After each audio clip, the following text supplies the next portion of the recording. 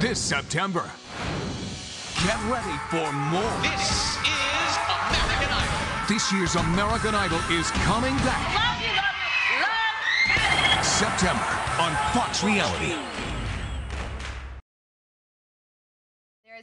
That our next guest was one of the most popular singers on Rockstar Supernova.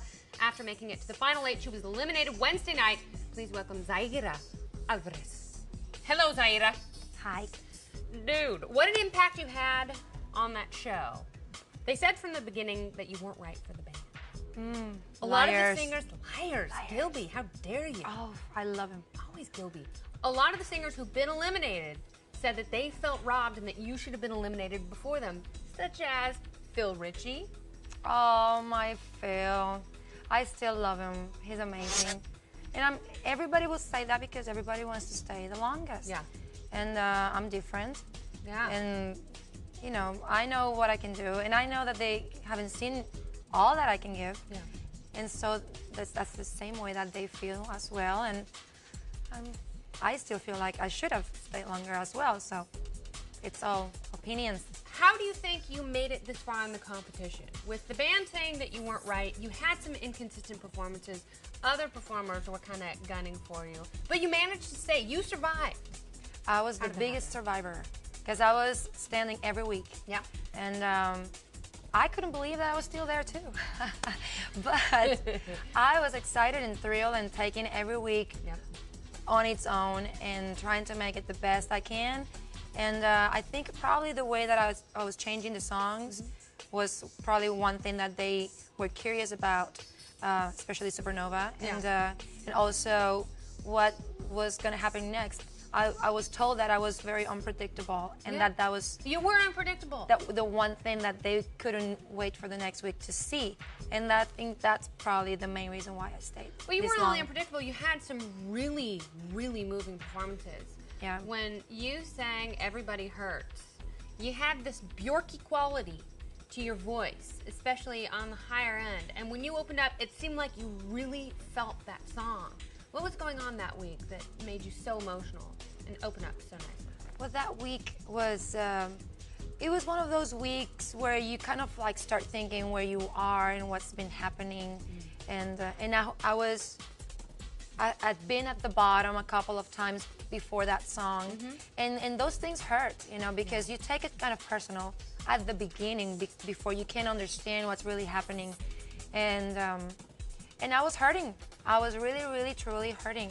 It was, it was a week that I needed to sing that to get that out of my system. And when when I saw that song, it was perfect for me. Did It- you have to fight anyone for it? uh, I had to fight somebody for it, but not much, because it was a slow song, and uh, and most of the times I didn't really choose the songs. It's- The songs were choosing me. Yeah.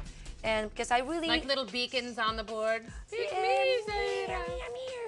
And then, and that's how it happened. I just had to wait, and people would just disappear, and it will be me, the last one standing for the songs. And every week, the songs meant what I really was going through at the moment.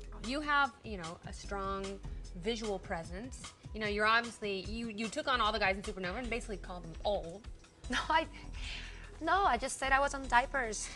It, did, it didn't mean that they were old. They could have been really young too, and wearing diapers with me, but.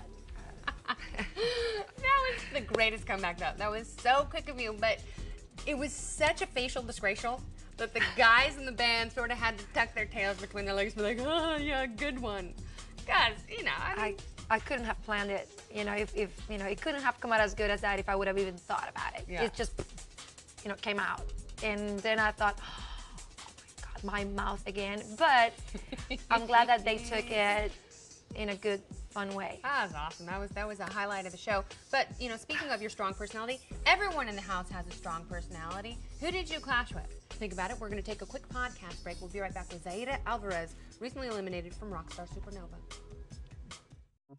You're good to go when Fox Reality puts reality TV in the palm of your hands. Just grab your mobile phone and text the word reality to number 76666. Receive daily updates, Your favorite shows, all the latest gossip, industry rumors. even casting calls. Be a reality star. Simply text the word reality to number 76666 for hot reality news at your fingertips. You're good to go with Fox Reality. Text the word reality to number 76666.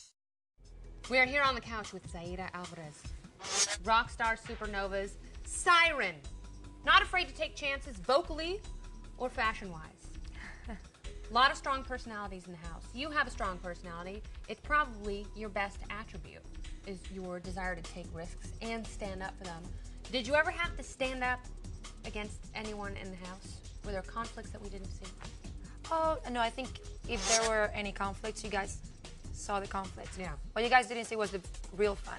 What is the real fun? The real fun in the house. Uh, what we do when we are relaxing, having a glass of wine, and coming up with the strangest stories and languages. Everybody's speaking their own language in the in the house and repeating everything, and you hear voices. And the best part of the house that you guys don't see is the mornings when people or the beasts are waking up, and all you hear is like ha ha on different rooms through the walls, and you're like, Lukas is up. Because he, he's always up with like this big giant ah, Yeah. and uh, those things you guys don't get to see, and it's hilarious. It's a great way to wake up. Well, let's talk about your style because one of the most exciting things to tune into before your elimination was your outfits. I could not wait to see what you were wearing, and I have to know did you provide those outfits? Did you bring them, or did the show stylists get them for you? Well, Like, I where does say- one get a strapless gold unitard? I got so lucky on that one. I was because we we go shopping, Mm-hmm. but uh, but it's nothing that they will tell us what to do. They just give us No, an you allowance. can tell it's it's your style coming through. and we just go and I know which stores because of being me being around LA and I remember a couple of places that I liked. Where a do couple you of shop? Things. What, what kind of places are they? I have to know. God, it's a secret because then they were like, oh, well, it sounds weird, but I can I say where I go shopping? Sure. Um, most of my outfits were out of trashy lingerie. Okay. The, So the pink store. You have to have a membership to Yes. in order to get in. You have to buy a membership to Trashy it. Lingerie. It's locked. Yeah. You can't just go in there and start browsing. And they will just do anything for me and even custom make me stuff. So, I will go there and design it with them. did you have a couple of custom-made outfits during the show? Um, mm, well, the gold one, it, it was supposed to be an underpants for another one, and then I was like, no, I like it without it. Yeah. And I just used it like that, and then the blue one Yeah. The blue NASCAR space suit was off the hook. unreal with the cutouts on the Yeah. side. Yeah. And I just that I picked it out of the rack. I look forward to seeing you and what you will do on your own. Thank you so much, Aida. Thank you for having me. Nicely done.